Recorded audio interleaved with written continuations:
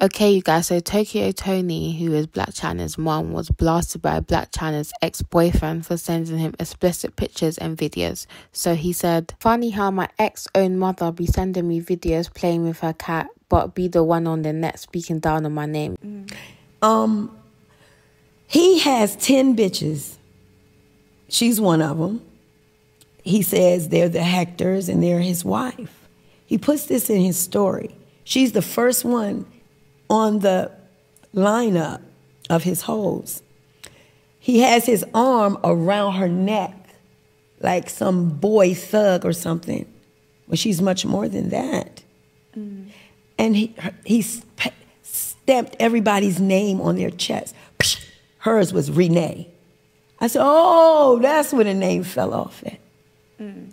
And then the rest of them, teeny tiny mama, woo, woo, woo. So the kill to the story is I text her and I told her I was proud. And guys, the craziness about this part is that he did post some receipts and he went in on her and posted everything. So Tokyo Toni allegedly DM'd him and she said, Tell my daughter I booked a plane ticket and coming to her house to beat the ish out of her. This is how she does me. After all I did for her, I've had enough and it's time for her to get that A in check. And then Blac Chyna's ex-boyfriend replied saying, How you doing, Miss Toni? I ain't got no bad blood with you. Your daughter ain't got no bad blood with you. That girl loves you so much and only has the greatest intentions and plans when it comes to you. Maybe it's the lack of communication between you two that stirs negative assumptions in your head that it's beef or war, but it ain't nothing like that, Queen. And then you guys, she sent him several pictures of her bending down and everything. Maybe it was that sweet talk that got her, I don't know and this is what I found really weird. Like, how you talking down on the man on a podcast, but sending him hundreds of explicit videos and pictures? So, Blac Chyna's mom did reply, and you guys know she always replies, and she went live as well. So, take a look. I send in naked pictures.